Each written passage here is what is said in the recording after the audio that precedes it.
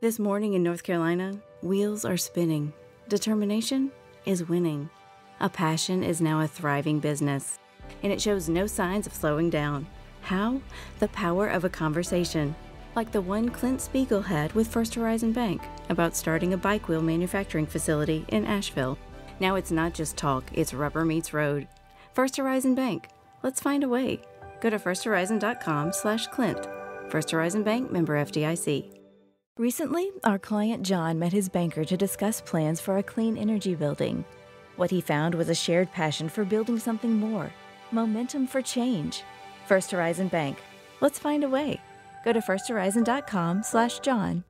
Hello, once again. Thank you for joining us. This is Space Nuts. My name is Andrew Dunkley, your host. And coming up on episode 317 of Space Nuts, we're going to be looking at dark matter because there's a there's a new theory that uh, could change the way we uh, we consider it, and and yeah, it, might uh, might change things significantly if it turns out to be true. But how do we know that?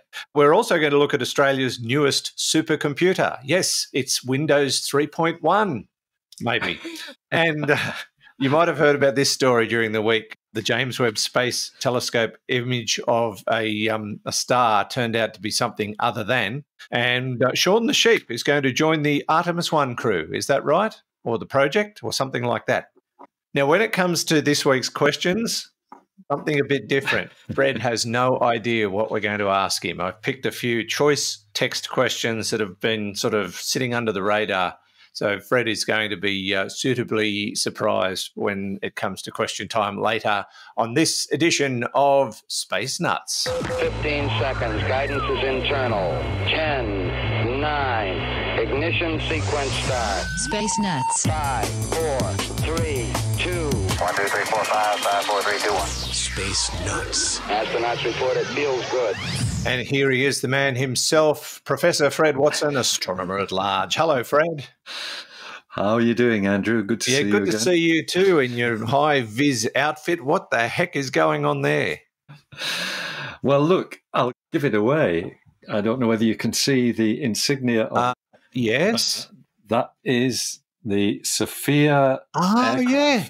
So this is a high vis vest that's given to observers and crew on the Stratospheric Observatory for Infrared Astronomy, which is called SOFIA, which you and I have covered many times. And sadly, the news is that it's going to be Yeah. wound back. So this is going to be a collector's item, and I have it courtesy of my colleague Stuart Ryder, who has observed on SOFIA a number of times, and he was with us for for brunch on Sunday this week, and he said. Well, I've already got a high vis SOFIA vest, and they gave me another one. So I thought you'd like Yeah, it. So there you go. I'm very honoured and proud And for those who aren't quite sure what we're talking about, SOFIA is the observatory that sticks out the side of a jumbo 747 Boeing jet. It does. There Yeah, it is. Which they're, 747 SP with a hole that's in it. the back. And they're decommissioning it, sadly.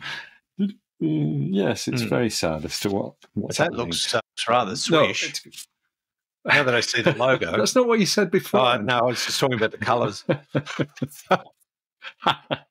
I'm going to take it off because I'm probably have to going to have to stay, take some clothes off because I'm getting Yeah, a bit warm in here. But let me take it off and back to All normal right, service. There you are, back to the Yeah. Icelandic jumper. Ah, dear. Yeah, we're, we're pretty close to Iceland, or at least it feels like it here at the moment. It does, yeah. This came from Reykjavik and it's very warm. Now, the other thing we wanted to mention before we got into our topics today, you wanted to shout out to Heidi in the US. I do because Heidi's somebody I met. She is a space medicine expert as well as a doctor.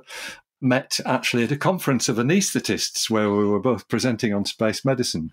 I was doing the space and she was doing the medicine. There's an astronaut there as well. It was a fantastic meeting. Uh, but I haven't heard from Heidi for what three years and was delighted to receive a text that said, Hi, Fred. Heidi de Block here. We met in Malaysia. I am a devotee of Space Nuts and was listening to today's episode.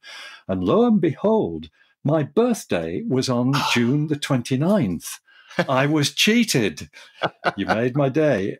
So that's because it was the shortest day, 1.59 milliseconds shorter than any other. any other of the normal 29th of June. I'm just going to read a little bit more because it's nice, really nice to hear from Heidi. She says, You and Andrew enlivened my drive home from the hospital. I'm glad to hear that you both survived COVID and that Marnie and the cat are well. And then she goes on to say, one other thing for the podcast. You mentioned life being spread via planet to planet, etc. I was dying for you to mention one of my favorite words, which is Oh, lithopanspermia. It crossed. It, I Yeah. Rocks rocks carrying Yes. life. should have done. Should have used Mm. that. Yeah. So you met. Yeah. So you met at a, uh conference of anaesthetists. Uh, Did everyone yes, sleep yes. through that one? yeah. Oh, yeah. It was. It was a very, very quiet conference.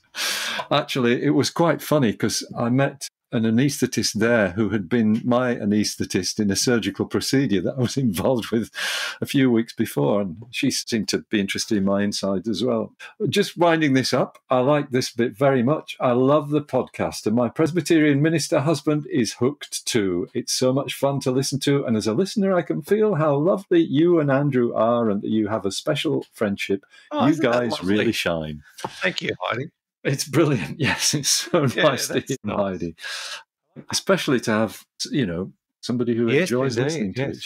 On the Now, speaking of anaesthetists, and this is completely off off topic, but we were watching a movie the other day called Thirteen Lives. I don't know if you've heard of it, but it's the movie that Ron Howard made in the wake of those soccer players in Thailand that got trapped in the cave, and they used an Australian Yep. anaesthetist who was also a cave diver to save. Well, that's lives. right.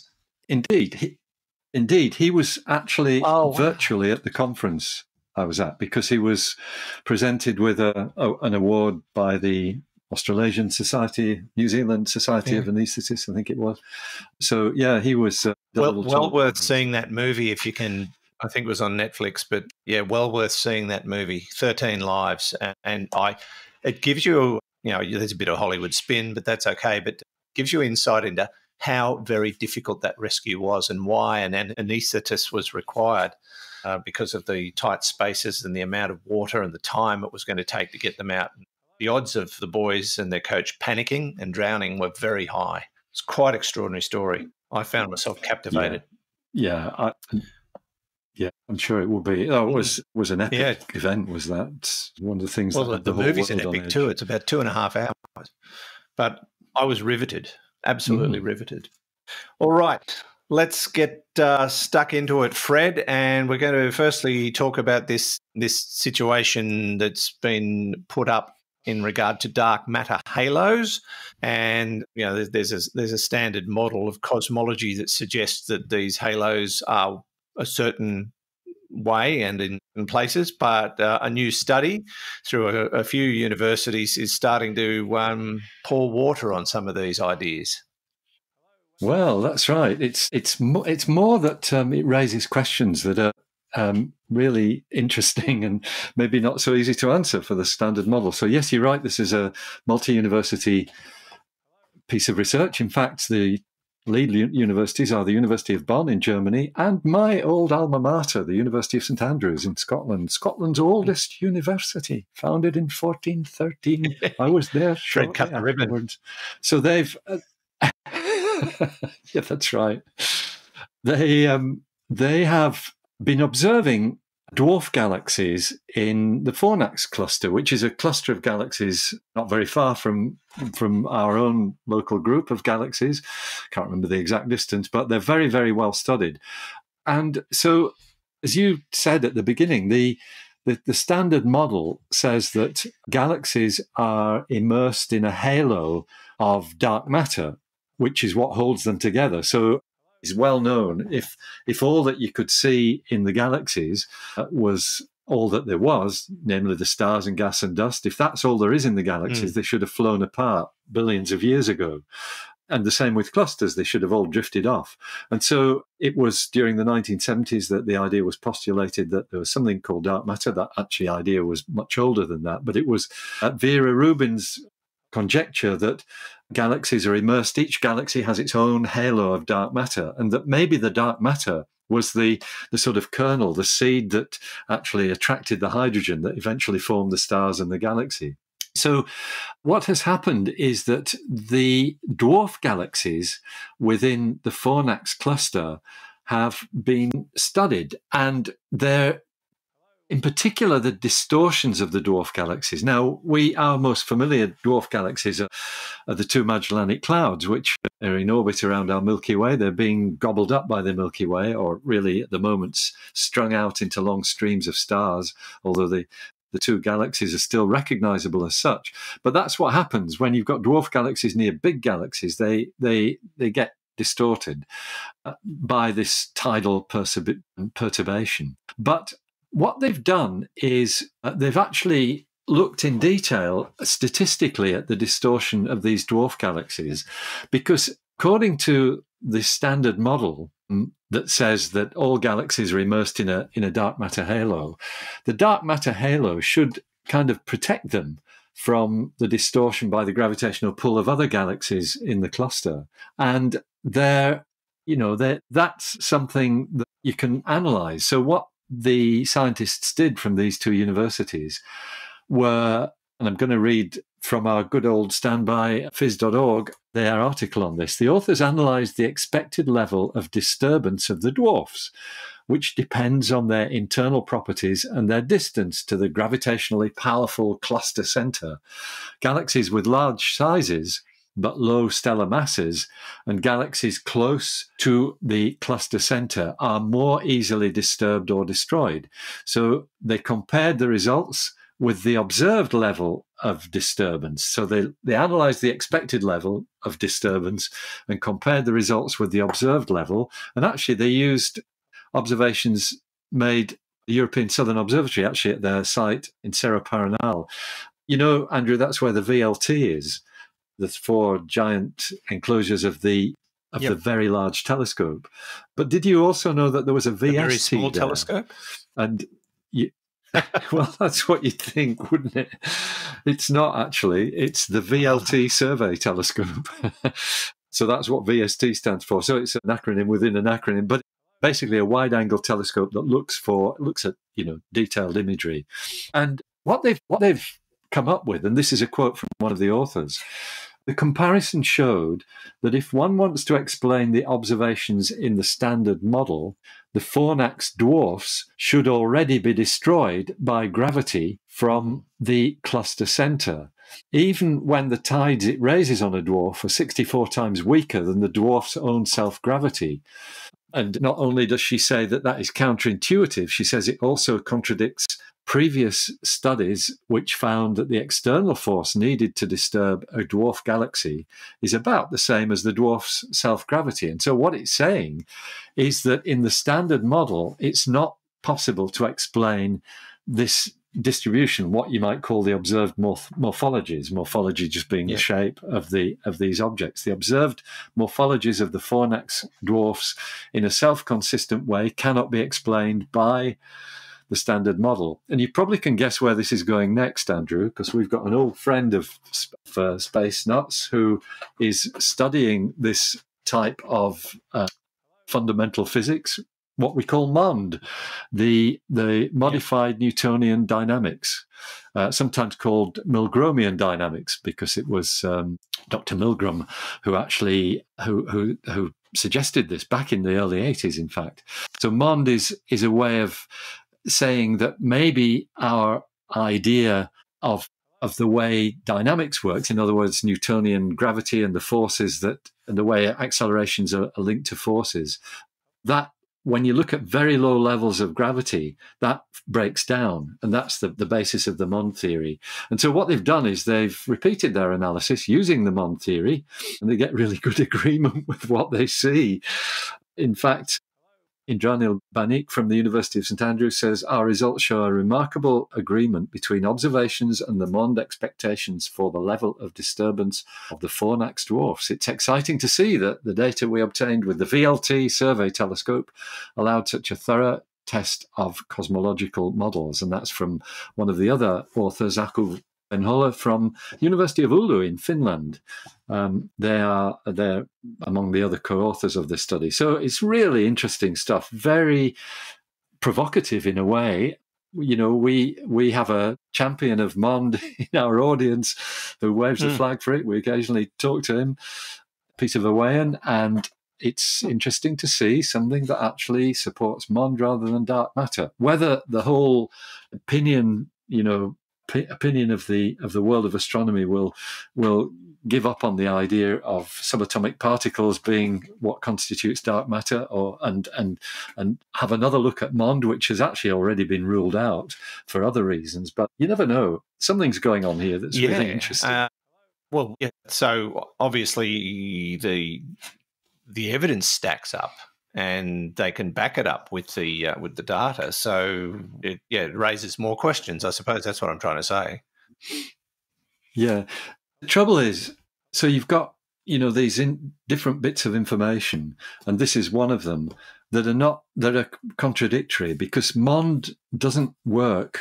I think it fails to predict uh, actually what you see in the early universe. You know, uh, there's no way that MOND can contribute towards what we call the cosmic web, the way that this scaffolding is was built up in the early universe for for hydrogen to fall into and form galaxies.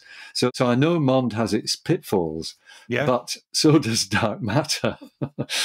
so we're in a really interesting era, and you know, it, it- fascinating the way as cosmology in particular the, the study of the universe as a whole and its evolution as that progresses how ideas come and gradually shape the, the view of all astronomers uh, you know in the, for example in the 1970s we all thought Hmm. the universe was going to collapse on itself and then suddenly along came Brian Schmidt and Saul Perlmutter and demonstrated that it's not it's ac- it's, acceler- Yeah. its Hmm. expansion is accelerating so yeah, indeed. Who knows? who But, knows um, where we'll be in yeah, a year's I time suppose Might this will give them a baseline to work with and, and move forward with other studies and concepts and, and experiments to see if they can prove one way or the other what's happening.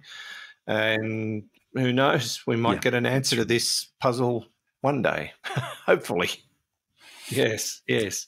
soon All right, let's uh, move on to this next exciting story because due to the fact that Windows 3.1 has become freeware, Australia now has a supercomputer, or is it a stupid computer? I'm not sure. But uh, let's put the jokes aside because there has been a development involving Australia's newest supercomputer. I didn't even know we had one. Oh, yes, we do. Um, we have um, something uh, over in Western Australia, uh, which is called the Pawsey Supercomputing Research Centre, and it's based in Perth. And it's what is used to analyze data from the uh, basically the square kilometre array and ASKAP, the Australian Square Kilometre Array Pathfinder, the Murchison Wide Field um, Wide Field Array (MWA), and eventually the Australian Square Kilometre Array itself. And the reason why this is in the news is that there is a new supercomputer which has just been installed at the Pawsey Computing Centre. It's got a nice name, actually, and I'm not sure whether I'm pronouncing this correctly Setonix or Setonix or Setonix. and Potato, it's named potato. after, uh, pardon? Potato, Potato, potato, yes, that's right. Oh, so it could be Setonix. Yeah. Setonix. It's an it's a, a, a basically a zoological name, Andrew, because it comes from something else that I'll mispronounce, Setonix brachyurus, which is the Latin name for the quokka. Oh, Yep, Nest Island. yeah, that's right. Hmm. Rottnest Island, they have quokkas there. They're, they're, they're quokkas throughout WA. I, I don't know enough about. Not sure exactly, but yeah, I know they're they're very um, common on Rottnest Island, and they're a they- tourist attraction.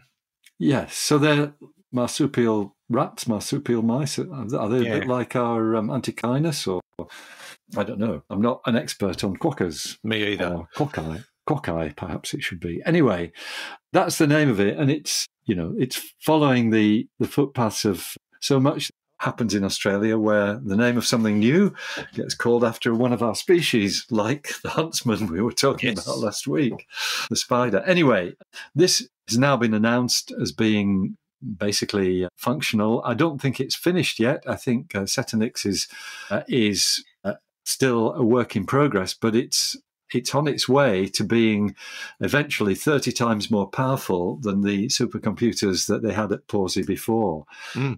And so it is actually a, very spectacular piece of kit.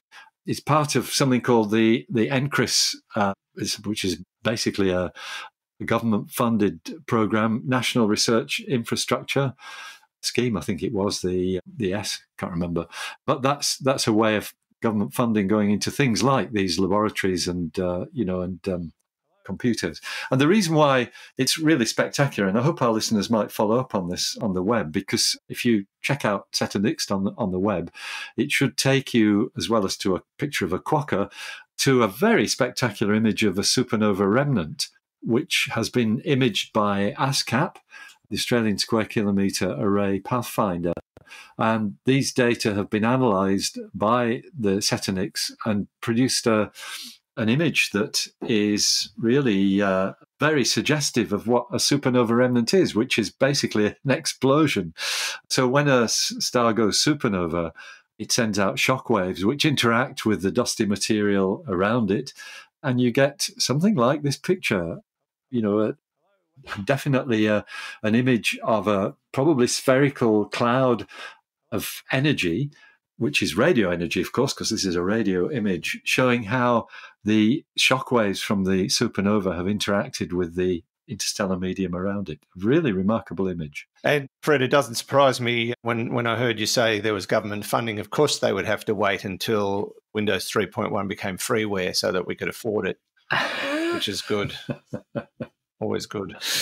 There you go. Mm. Yes. But uh, yeah, fa- fascinating image of that supernova remnant. If people want to have a look at it, you can check it out on the Cosmos magazine website. But I'm sure you'll be able to find it in many other places. Yeah. And uh, yeah, and, and check out what a quokka is too while you're at it. Q U O double K A, I think is how you spell quokka. Yes, it is. Yeah, funky little yeah. creatures they are. This is Space Nuts with Andrew Dunkley and Professor Fred Watson. This morning in North Carolina, wheels are spinning. Determination is winning. A passion is now a thriving business, and it shows no signs of slowing down. How? The power of a conversation, like the one Clint Spiegel had with First Horizon Bank about starting a bike wheel manufacturing facility in Asheville. Now it's not just talk, it's rubber meets road. First Horizon Bank. Let's find a way. Go to firsthorizon.com slash Clint. First Horizon Bank member FDIC. Zero G, and I. Space nuts. Now, Fred, uh, this is a, a, story that's sort of captured a lot of people's imaginations and caused a few smiles and probably a little bit of embarrassment in some quarters, involving a French scientist who uh, purportedly released a, a, a, wonderful image of a star from the James Webb Space Telescope, but it wasn't a star. In fact, uh, he no longer feels like a star because he's been forced to apologize. What on earth has happened here? so, indeed, uh, so this is a gentleman by the name of Etienne Klein, who is a director at the French Atomic Energy Commission, so a scientist of, uh, of a senior level. And he put a picture on Twitter, um, which he said, it's a photo I'm trying to translate from the French here. photo of Proxima du Centaure, uh, the star closest to the Sun, situated at 4.2 light years from us. It is. It was taken by the JWST, uh, a new world for something. Oh, for yes, something to do with day after day, jour après, après jour. I'm not sure what reading there, but anyway, it's fine. So it's a star. It looks like reddish star, and of course, Proxima Centauri is a red dwarf. It's pretty well what you might expect Proxima Centauri to look like, yeah. except when I looked at it, I said that is not a star, and that's because it doesn't show any limb darkening. And I don't know whether you and I have ever talked about limb darkening, Andrew. You I, can see it on it. Recall it. See it on images of the sun. The limb is just the edge. And oh, so okay. if you look at a picture of the sun, just taken in ordinary white light, ordinary visible light, you'll see it's darker towards the edge of the picture. And that's because you're looking through a thicker layer of, of atmosphere, essentially. on the sun. So that's a term known as limb darkening. It's well known to astronomers, and stars do it too. But this Uh-huh. one doesn't because it is a picture of a slice of chorizo sausage, Spanish sausage. you know, I, I I don't know about the finer details when it comes to these kinds of images. So No. when I saw it and and uh, read the headline, I saw the star before I realised what was going on. yes. And- Completely duped to me. Personally, I think it's hilarious. Y- I, yeah. I think it's I think it's funny, right. and you know, I love people who uh, you know enjoy having a bit of fun. It's not harmful fun, And- but he has been a force has been a for, forced to apologise for his indiscretion. He does. He has too. That's right. I mean, you know, what I like is people who don't take themselves too seriously in science. You've got to be safe. There are times when you have to have the utmost seriousness, but there are times when you can perhaps afford not to be. Unfortunately, as you said, he got kind of, you know, a bit of criticism from from from tw- from Twitter. I've just realised that the thing I was trying to translate from the French is actually written Oh, in right. English above it, which says, "A new world is re- revealed every day." uh, so he got uh, basically criticised by the fact that scientists we often have to. You know, we've often got to defend against fake news. We've often got to tell people Yeah. this is not a real image. It's, it's, you know, you, there's plenty of them around, and I get them from time to time as well. People ask me about them, and so he he's apologised. He said his aim was to remind people to be wary of arguments from people in positions of authority. I come to present my apologies to those who may have been shocked by my prank, which had nothing original about it. he, he's tweeted. Maybe it would have been more yes. acceptable had he done it on the first of April. Yes, that would have been would have been better. That's right. Yeah. He should have waited. Somebody tweeted, coming from a scientific research director, it's quite inappropriate to share this Uh, type of thing. You I can- guess you can so, but, that, uh, you know, it- you know, uh, from yeah. my perspective as somebody who likes a great prank, I I I, I I thought it was fun. yeah, I, I enjoyed it. but uh, it reminds Yes, me of the, the BBC's great April Fool's Day joke of the spaghetti harvest of Switzerland, I think it was. And it was done on the BBC's Panorama program back in the 50s. And all right. it was so convincing because people didn't know much about overseas cuisine in those days. Uh, you- you're stuck with your bangers and mash in the UK. So when they found out they were being duped right. about all this um, spaghetti growing on trees and spaghetti harvest and the narrow window of opportunity to do, they were absolutely furious that Panorama would do something like that. So mm. I can understand why you'd get a bit upset because, you know, from their perspective, Panorama was a serious news show. You didn't do that. So that's kind of what's happened here. I think that's right. Yes, yeah, that's right. We've come a long way But- since uh, Panorama in the 1950s, but maybe not quite far enough for this sort of thing. It still stands up as the greatest April Fool's jo- Yeah. Day joke in history. You can watch it on YouTube. yes. So it's worth a look. But uh, this one, yeah, not bad at all. I'll, I'll give him a, a 7.5. there you go. It's got the Andrew Dunkley Um, seal of approval. Yeah, I'd give him 10 out of 10 if he timed it better. Yeah. First of April would have done it. That's right. Yeah. But it's a very convincing picture for those of us who don't know what to look for in the image of a star. So well worth checking out. Uh, this is space. Oh no, we've got one more thing. No. Sorry, let's move on to the next. So many topics. I wasn't. Uh, well, Yeah, we usually got- do one per segment, but um, Just got one. another one. Shaun the sheep. Shaun gonna be a- A crash test dummy. Well, he, yes, he's he's not actually. He's he's he's going with a crash test dummy, which also has a name. Actually, that's it's a mannequin, which is in a you know a seat on the Artemis mission. Remember, the Artemis we hope will launch before the end of the month, which is Mm. the uncrewed version of what we hope the next time will take astronauts around the moon. It's a it's a translunar mission to send the spacecraft around the moon. In fact, it goes seventy thousand kilometers beyond the moon. It's going to be quite a serious ex, um, external extension of the excursion. There you go, three X's in a row. But it does already have sort of mannequin, mannequin on board, which will which has accelerometers attached to it and things of that sort. Uh, you know, temperature measurements and all kinds of sensors, radiation sensors. The mannequin is actually named after a gentleman whose name was Arturo Campos, who was the electrical power subsystem manager for Apollo 13 on the lunar module. Oh, wow. So Oh. he was the guy who brought the Apollo 13 astronauts back to Earth. Uh, at least he was a key player. So they've named him. Yeah. They've named the mannequin. He's not a mannequin. He's Moonikin. Moonikin Campos is is his name. That's the mannequin.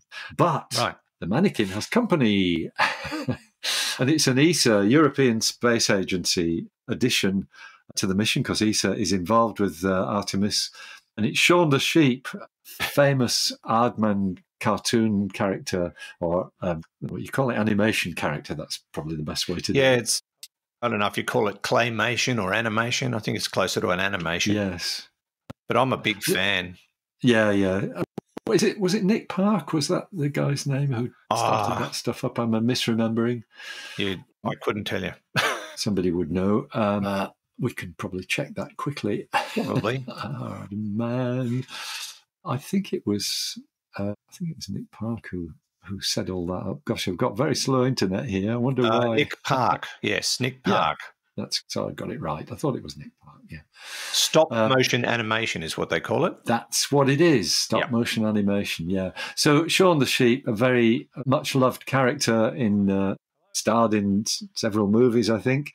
It's just apparently it's tradition uh, that you always take a doll of some sort. I mean, it's often been a dinosaur. Uh, even Yuri Gagarin took a doll with him for the first ever human space flight. Is that And, true? Uh, yeah, he did. It- the way you, the way you demonstrate you're in, you know, zero gravity. Well, you, you're in Oh, effectively weightless, and you're not in zero gravity, but you're weightless. You let the puppet or the doll float. So we might see images of Shaun floating around in the Artemis capsule as he as he heads off to the moon and back. We hope because this Yeah, mission will definitely hope uh, they come back. Yes. Yeah, yeah. So, if they're going 70,000 kilometers past the moon with this test mission, does that suggest they're going to try the same thing with people on board? And would that then mean that those people will have traveled further from Earth than any other human, or is that a stretch? No, I think that is planned. It should yes, I I need to check that. But the certainly the the uncrewed, it's Artemis One. Yep. Which, which Artemis I've got my name on, as have uh, several. You do, that's right. Yes, you, you. Yeah, you've got your name there. Yep. So Shaun might uh, read it out or I've got a boarding pass. Um, and uh, Artemis 2, let's just check the NASA details of that because we can do it. At least we can when the internet's working. yeah. Will indeed. The astronauts on their first flight aboard NASA's Orion spacecraft will travel farther into the solar system than humanity has ever traveled before. And it's to confirm all the spacecraft systems and make sure that everything's going to go. So Artemis 2 will indeed build upon the uncrewed Artemis 1 flight by demonstrating a broad range of the Space Launch System and Orion capabilities needed on deep space missions. It's Wow. quite exci- Mm. exciting. Yeah, Artemis 2 goes around the moon and does a sort of figure of eight loop, a little bit like Apollo 8 did, Yeah. if you remember what happened there. But the details are all on NASA's website. Absolutely wonderful. And we wish Shaun the Sheep et al. good luck. And we can't wait for that launch to happen and follow the, the mission, especially those of us who have got our names on board. That I think is really exciting. It's as close as I'll ever get to going to the moon, I think, Fred. You never know, Andrew. Don't give up. I haven't. You're just a young lad. I'm waiting for my invitation. That's why I stay so fit. Good. Mm, okay. I'll leave it there, but there'll be more on that story going forward. This is Space Nuts with Andrew Dunkley and Fred Watson. Want a holiday gift your employees or clients will actually love? Send them gourmet peanuts from Hubbard Peanut Company. Hubs Peanuts is a family owned company that's been making high quality, delicious peanuts and sending them to every corner of the globe since 1954. Order some of Hub's plain, salted, or chocolate covered peanuts in a special gift tin for the perfect gift for your friends, employees, clients, or even yourself. Visit hubspeanuts.com. That's H U B S peanuts.com. It's a holiday story. It's a family story. It's a story of thousands of twinkling lights and countless memories. A story of crackling fireplaces and candlelight Christmas evenings. where the sounds of sleigh bells and carols echo all around. It's a story of peace and togetherness, of glittering ornaments, fragrant wreaths, and wide eyed wonder. It's the enchanting story of a beloved tradition at America's largest home, with 250 magnificently decorated rooms, each with its own stories to tell. But all this can't begin to tell the full story of Christmas at Biltmore. Come walk in the footsteps of the Vanderbilt family and immerse yourself in a winter wonderland of endless holiday delights. Because as wondrous as the story of Christmas at Biltmore may be, it can never be complete without you.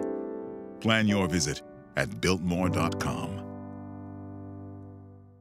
Okay, we checked all four systems and skiing with a go. Space Nuts. Now, Fred, uh, it is question time, and normally you and I have sat down and pondered and thought and selected and discarded. No, we don't do that. Questions from the audience, but today you have no idea what I'm going to ask you. No, I don't. That's all right. This No, happens I've the got radio. about uh, I've got four questions from three listeners. They're all very short, and some of them just a bit out of left field, which I thought you would enjoy. okay. All right, this comes from Travis in Auckland, New Zealand. Why do astrono- Why do astronomers refer to all the chemical elements heavier than hydrogen and helium as metals? metals because we're dumb, really. it, it's true. So, the normal definition of a metal is something that conducts electricity, I think, or some definition like that. Whereas astronomers just have a different definition. It's anything heavier than hydrogen or helium is a metal. Uh, because it's not hydrogen or helium. These, these are the same people that photograph chorizo and call it a star. That's what it No, he wasn't an astronomer. Listen to you, distancing yourself. just an uh, atomic scientist, you know. Yeah, it is weird. It's a quirky thing. We really should get, you know, we should get real about.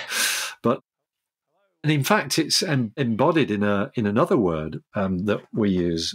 I think I'm going to sneeze under it. Oh no, it's gone. That's all right. I did. That I had that happen on air the other day on the radio station. Couldn't stop it. no, there are times when you can't. So we talk about the metallicity uh, of of um, for for example of a star, because you can work out the ratio between the hydrogen in the star, and then you pick another of the elements, and it's usually iron. In fact, that's used for this. It's the ratio of iron to to hydrogen, and you can understand why that then is called a metal. Because iron's a metal in both senses, whether you mean astronomical or physical. But yes, the metallicity is how much how much of heavier elements there are in the star's atmosphere, and of course, it's a link to the star's age as well, hmm. because the the lower the level of of non uh, well, the lower the level of metals, i.e., not hydrogen or helium, in the star's atmosphere, the older it is, the earlier in the in the universe it was formed. Okay. So they call it a metal because. Because they do. Yeah. All right. Thank you, Travis. Next question comes from Scott in Lancashire. As we all know, for some reason, Uranus spins on its side in relation to the sun. Is it destined to destined to stay like that till the end of the solar system, or will the sun's gravity or some other force gradually pull it back around? Thanks for the podcast, guys. You make Thursdays worth looking forward to. Gee, you're easily pleased. Thanks, Scott.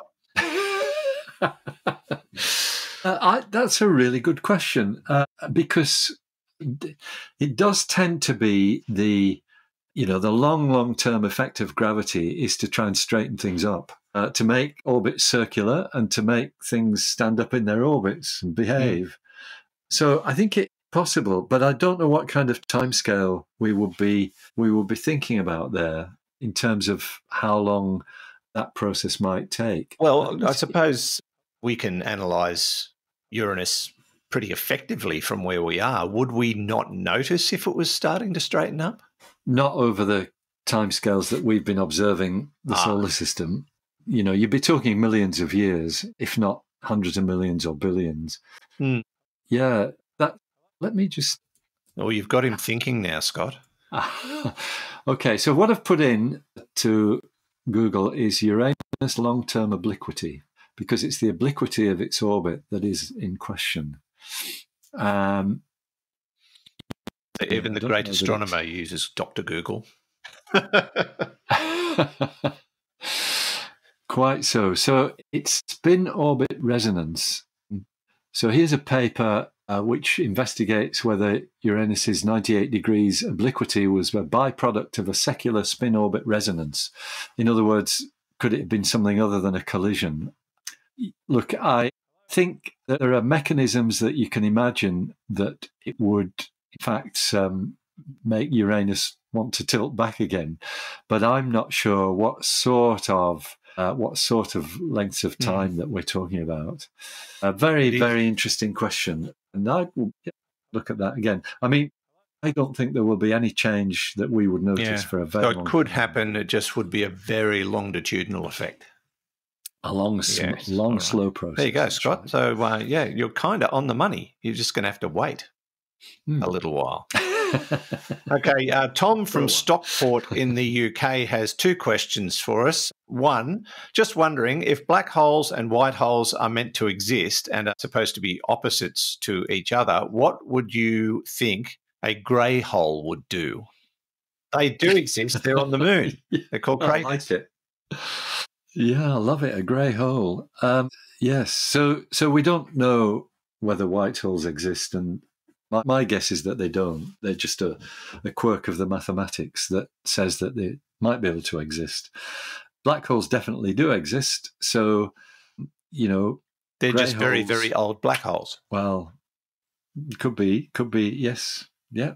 Just like the grey nomads who tour around Australia, they might be That could be it. elderly black holes. But, um. Yes. I mean, if there's no white holes, then black holes stay black because they can't mix with the white and turn grey. They can't mix with them. I suspect if you got a black hole and a white hole I together, though, it would be, be. quite spectacular. That would Yes, be a yeah. sight to see, but um, probably no such thing. Black only. It's it's like the um, a white hole. Model T Yeah, Ford. you can get it in any colour you like, as long as it's black. Hmm. Right. Okay, uh, and uh, Tom's other question. This one is a little bit more serious, but still tongue in cheek. Some people believe the Earth is flat. So, do Mhm. they believe that the universe is flat too? If so, would the universe still work in the same way or move in a completely different way or not work at all? Love the show, Tom. Well, the universe Oh. is thought to be flat mm, in the, in the sense that it's not flat in like a tabletop. It's flat in that its geometry is not curved. In other words, the normal geometry that we experience around us, where parallel parallel lines never meet and things of that sort, that is what you get in a flat universe. A universe with curvature gets all kinds of other things in it as well, like these parallel lines crossing and things of that sort. So, so yeah, but look, the flat Earth really doesn't have any merit whatsoever. Flat universe does, but it's not. It doesn't mean that it's it's shaped like a tabletop. In fact, we think the universe is isotropic, which means pretty well has spherical symmetry. It's the same in all directions. Okay. So, yes, no point really entertaining this angle of thought, I, I suppose. But um, and I, I don't see how a flat universe would work. It just it would be it, well, what's the word I'm looking for? The physics would make it impossible. Yeah, that's right. I mean, you know, the Milky Way is flat. Uh, it's a you know, it's a it's a spiral structure in a plane, and and you get that just because of the combination of gravity and rotation. That's what happens when you when you form a galaxy. Uh, the spiral structure comes from density waves moving through and and basically creating newborn stars. But yes, there's a flat geometry to to the Milky Way, and, and in a in a way that's made obvious by the fact that we we look through the thickness of the, the galaxy and see the disk the, the Milky Hmm. Way itself going all around the sky. There you have it. All right, Tom, thanks for your question. Great questions. I just plucked them out of obscurity because they've been sort of are, sitting there a while and thought, let's just do them all at once and have a bit of fun. It's good. Yeah. Yeah. So thanks, Travis. Thanks, Scott. Thanks, Tom. And uh, don't forget if you have questions for us, and we could use a few, we're running a bit low for some reason. Maybe people don't want to ask us anything anymore, Fred. But uh, you can send them to us via our website, spacenutspodcast.com or spacenuts.io, and click on the AMA tab to send us a text question or an email question or an audio question. And there's a little button on the right hand side of the home page where you can send your audio question as well. And while you're there, have a bit of a look around, shop around. Astronomy Daily's there. There's the Space Nuts shop, which has all sorts of goodies available to you. Yeah, have a, have a bit of a squeeze. And uh, don't forget to check out the supporter page if you want to become a supporter of Space Nuts. There are plenty of ways to do that on our website as well. And please keep sending in your reviews via your favorite podcast distributor. We, uh, we love your reviews and they're very, very helpful. They just keep the audience growing. That is where we're going to call it quits, Fred. We got there in the end. Thank you so much. We seem to have done. It's a pleasure, Andrew. And don't forget your lithopanspermia, courtesy of Heidi de Block. Indeed. Thanks, Heidi. And a shout out to everybody out there who likes lithopanspermia like I do. All right. Thanks, Fred. We'll catch you next time. Sounds great. See you soon. Andrew. See you, Fred. Fred Watson, astronomer at large, part of the team here at Space Nuts. And uh, Fred has sent Hugh yet another wonderful editing challenge on this week's episode. And from me, Andrew Dunkley, thanks for your company. And we'll look forward to uh, joining you again on the very next episode of Space Nuts. Bye bye. Space Nuts. You've been listening to the Space Nuts podcast. Mission complete, Houston. Available at Apple Podcasts, Google Podcasts, Spotify, iHeartRadio, or your favorite podcast player. You can also stream on demand at bitesz.com. This has been another quality podcast production from bitesz.com. And thanks to everybody who watched us live. We had another fun session. So uh, thanks for tuning in. We'll catch you again soon. Bye bye.